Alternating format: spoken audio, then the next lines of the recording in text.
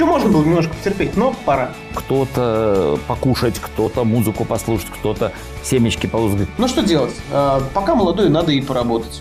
Я так под таким углом никогда не смотрела на этот вопрос. Поэтому ты ненависти гостя. Мы независимые, и они, фу, зависимые. Так? Может, он убежал от своей английской серости в нашу русскую цветную действительность. Я позволял себе превышение скорости. А в Сарове всякого. Как, как